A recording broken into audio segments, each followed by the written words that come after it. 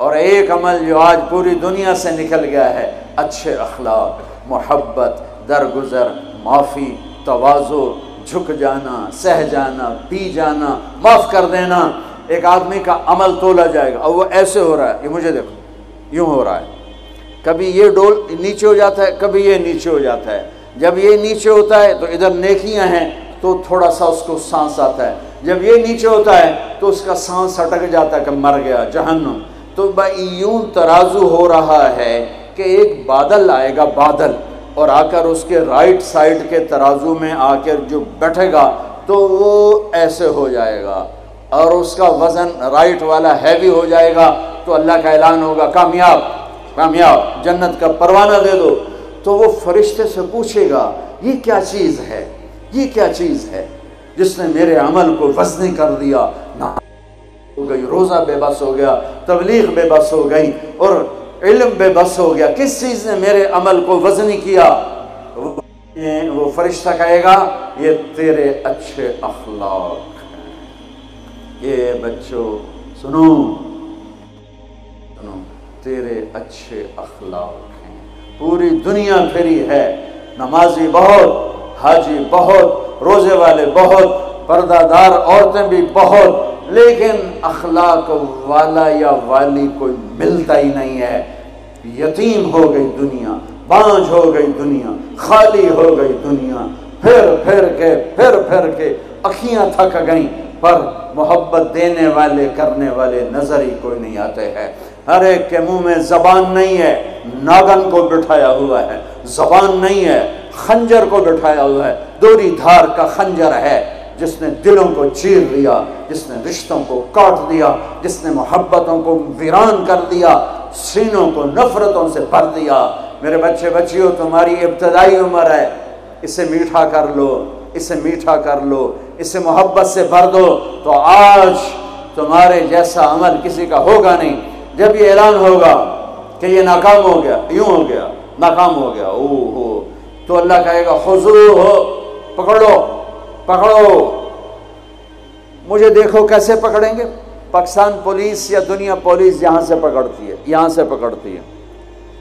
हथकड़ी लगाती। मेरे अल्लाह की पुलिस कहाँ से पकड़ेगी? देखो यहाँ से। फरिश्ता आके यहाँ हाथ डालेगा यहाँ। और यूँ करेगा। उसका ये जबड़ा निकल के ऐसे हो जाएगा। और वह यूँ कलाबाजियाँ खाता हुआ गिरेगा नंगा और उठ कर कहेगा, माफ़ी दे दो, रहम करो रहम करो रहम करो। तो वो कहेंगे, तुम पे रहमान ने रहम नहीं किया, हम कैसे रहम करें?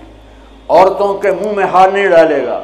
कोई औरत नाकाम होती है तो उसको यहाँ से नहीं, उसको सर की चोटी से पकड़ के यूँ झटका देगा।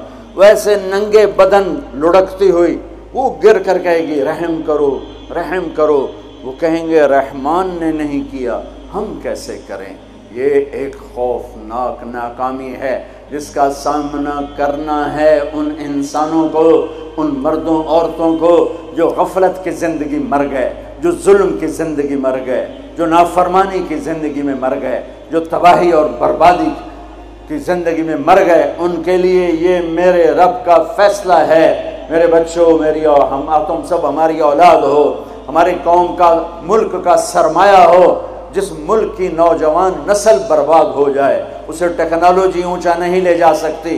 जिस मुल्क की नौजवान नस्ल गैरतमंद हो, इज्जतदार हो, दामन पाक हो, साफ़ हो, नज़रों में हया हो, पाकिजगी हो, वो टेक्नोलॉजी के बगैर भी हवाओं में उड़ते हैं। इंसान की बुलंदियाँ वो टेक्नोलॉजी से नहीं तय होती, इंसान की बुलंदियाँ उसके अखलाक से, उसके किरदार से, उसके हया से, उसकी पाक दामनी से तय होती हैं। हम यतीम हो गए, हम फ़कीर हो गए, मेरे देश से अखलाक का जनाजा उठ गया। मेरे नबी से पूछा गया, क्यामत कब आएगी? क्यामत कब आएगी? मैंने अभी थोड़ा नक्शा बताया। आपने कहा, अल्लाह को पता है। कहा जी कोई निशानी बता दें। अब ये लड़कियाँ गौर से सुने। आपने उनका, या रसोल्ला कोई निशानी बता दें? तो मेरे नबी ने फरमाया, जब बेटियाँ भी माँ को जलील करेंगी तो क्या मत आ जाएगी? बेटियाँ नाम लिया ख़ास तौर पर, कि बेटे तो होते ही हैं नाफरमान अक्सर। बहुत कम माँ बाप हैं जिनको औलाद से ठंडी हवा आती है। वरना गर्म हवा ही झेलते रहते हैं। मेरे नबी ने फरमाया, जब बेटियाँ भी बेटियाँ भी माँ को जलील करेंगी तो क्या मत आ जाए ये नहीं कहा जब कुफर फैलेगा तो क्या मत आएगी, जब शराब पी जाएगी, जना होगा तो क्या मत आएगी, पत्थरों की पूजा होगी तो क्या मत आएगी।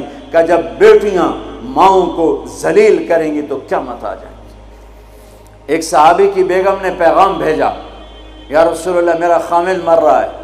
कलमा नहीं पढ़ रहा। सहाबी हो के कलमा नहीं पढ़ रहा। कमाल सहाबी। अब भाग के गए। हमने कहा, बेटा, कलमा पढ़। पढ़वाने वाले नबी, पढ़ने वाला सहाबी का जी, पढ़ा नहीं जाता बोल रहा है, कलमा नहीं पढ़ा जा रहा। आपने कहा, क्या? हो कहा, जी, बस पढ़ा नहीं जाता आपने फरमाया, इसके वालदेन में कौन ज़िंदा है? कहा, जी, माँ ज़िंदा है। तो आपने कहा, इसकी माँ को बुलाओ। वो माँ आ गई। आपने फरमाया, अलकमा की माँ तू बेटे से नाराज़ तो नहीं? सुनना बच्चों, गौर से सुनना। ये बच्चियाँ भी गौर से सुनो। कहा, जी जी, मैं नाराज़ हूँ नाराज़ हूँ। कहा, तुझे क्या नाराज़गी है? हाय कि या रसूल अल्लाह मुझे इसके दीन का कोई गिला नहीं है। बहुत नेक बच्चा है। रातों को उठ के तहजद पढ़ता है। नफलों में खड़े होकर कुरान पढ़ता है। दिन में रोज़े रखता है। लेकिन बस मुझसे जब बोलता है तो बदतमीज़ होकर बोलता है। मेरा दिल चीर के रख देता है जब मुझसे बात करता है। बस मुझे इसका दुख दर्द है। आज तो माओ की पिटाइयाँ करती है औलाद। वहाँ सिर्फ़ जबान की तेज़ी तेज़ी, जबान का लहजा रूखा। कया रसूल बहुत बदतमीज़ होकर बोलता है। आपने फरमाया, माफ़ करोगी? का जी नहीं चाहता। आपने फरमाया, मैं आग लगाऊँ तो सिफारिश करोगी? कहा जी सिफार आग में तो नहीं देख सकती। सिफारिश करूँगी। आपने फरमाया, अगर तूने माफ़ ना किया तो ये मरते ही अल्लाह की आग में जलेगा। इसको सहाबी होना भी जहन्नुम से नहीं कोई बचा सकता। हालाँकि कुरान कहता, कुल्लन वादल्लाहुस्ना ए मेरे नबी, मेरा वादा है, तेरे तमाम सहाबा जन्नती हैं।